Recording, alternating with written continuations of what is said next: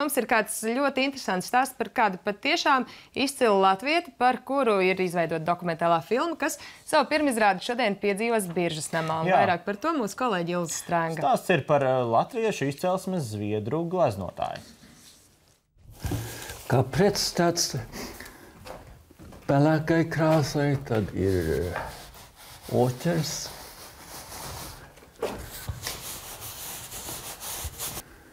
Vai vēl kas vajadzīgs? Mums Lāris pirmkārt tomēr ir Niklāva Strunkas dēls, kas ir fascinējošs mākslinieks, ļoti interesants Rīgas grupas mākslinieks. Zviedriem savukārt Lāris ir savas paudzes izcilākais gleznotājs. Lūk, šīs lietas savienojot kopā, mums šis šarmantais kungs man šķiet parādās nu, no, no ļoti interesantām pozīcijām. Videofilmas gleznotājs Lāris Strunke tapšanas vilinājums aizsākās Rīgā 2013. gadā. Satiekot izcilo latviešu un arī zviedru gleznotāju Lāris Strunke viņa personālistādē Rīgā. Toreiz Lāris atturīgi pameta ideju. Gotlandē, kur viņš vasaras darbnīcā gleznoja jau 50 gadus, būs izstāve. Är precis.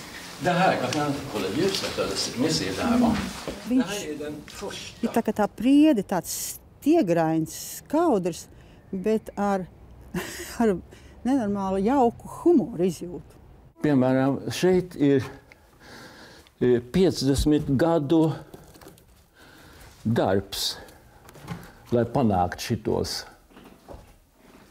Desmit gadi, desmit gadi, desmit gadi un desmit gadi. Tāpat kā viņa apvienojas, mm, var būt kaut kā tāds nešpatnums, ja, ko mēs esam arī piedzīvojuši. Jo, eh, viņš varbūt ne uz visiem jautājumiem ir ar mieru atbildēt, un ja viņam, eh, un ja viņam tas jautājums liekas, ka tas viņu neinteresē, tad viņš tā arī pasaka, ka tas viņu neinteresē. Filmas veidotājiem bija iespēja fiksēt gatavošanos Gotlandes darbnīcā 50 gadu personāla izstādēji. Lāris Strunke vēlāk no atskaitītas katoliskā džentlmeņa pārvērtīsies par spožu happening meistaru. Tas notiks izstādē. Viņš ar savām gleznām telpā spēlēsies. Un māksliniekam nebūs svarīgi, vai darbs uzgleznots 60. gados vai tapis tik tikko. Tās ir manas kāpnes. Jā. Un ir vajadzīgs taisni virsma, uz kuras es varu uzvilkt audeklus un gleznot. Mani visnotaļ fascinē eh, tā Lara ārkārtējā iekšējā saistība ar dabu. Un to, tas, kā viņš savus mākslinieka redzējumus, savus mākslinieka izaicinājumus ir saistījis arī ar izjūtām dabā. Videofilmas gleznotājs Lāris Strunke pirmizrāde šovakar Mākslas muzejā Rīgas birža pusseptiņos vakarā. Ilza Strenga, Raivo Freimanis, Latvijas televīzija.